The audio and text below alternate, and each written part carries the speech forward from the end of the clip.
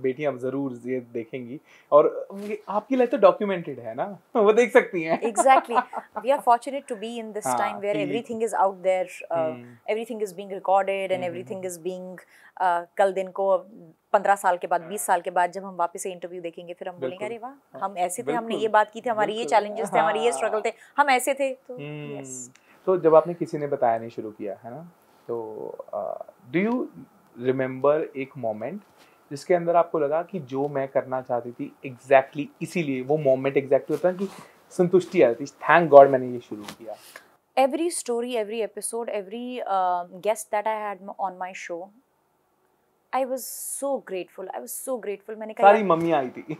मैंने कहा यार मैं इसलिए ये मैं इसलिए ये कॉन्वर्सेशन करना चाहती हूँ मैं इसलिए ये शो करना चाहती हूँ क्योंकि हम ना वो कहते हैं बड़े कैजुअल होते हैं कि यार माँ बनना कौन सी बड़ी बात है? दुनिया में इतनी औरतें तो हैं इतने बच्चे तो पैदा कर रही हैं इसमें कौन सी ही बड़ी बात है? क्या ऐसी अ, मतलब ख़ास बात है? हम ना बहुत वो बोलते हैं ना अ, बड़ा ही कम आंकते हैं। और इस चीज़ के लिए मुझे एक आवाज़ बनना था। It's not that easy it's not that simple it's not that rosy यार हम we let go of our bodies we let go of our uh, mental peace we let go of so many things we let go of that time when we wanted to achieve so much in our careers किसकी कहानी सबसे ज़्यादा inspiring लगी आपको मैं आपको बताऊँ हर हर हर guest की है पर हर- ना हर एक- guest की हाँ, है। बट किसी की होती है ना कि ज़्यादा थोड़ा सा एक स्पेशल वो ले जाती है यार my है ना? mothers हाँ, हाँ, my mother she has had so many struggles so many struggles आप बिलीव नहीं करोगे मेरी मम्मा के पास जब मैं डिलीवर हो रही थी कोई नहीं था। मेरी बड़ी दादी थी जो बहुत बुज़ुर्ग थी।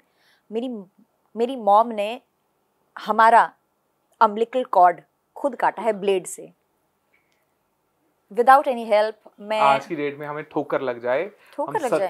मेरी लेते हैं, मे, हाँ। मतलब मेरी माँ ने खुद अपने आप को ऐसा क्लीन करके मुझे वो बाहर निकाल के खुद वो यू नो मेरा अम्बलिकल कॉर्ड अपनी ब्लेड से खुद काटा है और खुद मुझे नहला धुला के रैप करके अपना दर्द वो भूल गई। And she is holding me and वो मेरी बड़ी दादी उनके पास थी जो एक्चुअली कुछ नहीं कर पाई क्योंकि बहुत बुज़ुर्ग थी वो। And she did all that by herself in a very small dark dingy room uh, and she was there for 20 25 days eating one meal a day. And uh, that's how she's brought me up. So उनकी कहानी जो है and last day तक वो काम कर रही थी खेतों में काम कर रही थी वो जो हमारे जिसमें गोबर डालते हैं ना पीछे जो पीठ में उठाते हैं पंद्रह बीस हाँ हाँ, हाँ। हमारे किल्टा बोलते हैं पंद्रह बीस किलो का किल्टा वो था she was in labour pain तो वो लेबर पेन में उन्होंने पूरा खेत का काम करके फिनिश करके फिर तीन घंटा खुद वॉक करके हमारे पुराने घर गई हैं और शाम को मुझे डिलीवर किया है। क्या बात है। ऐसी कहानियाँ है ना। ऐसी स्ट्रांग नहीं है लड़की भाई। Yes I owe it to my हाँ, मदर बिल्कुल बिल्कुल बिल्कुल। आप उसी स्ट्रेंथ के साथ आप एंटरटेन तो करने वाले हो है ना?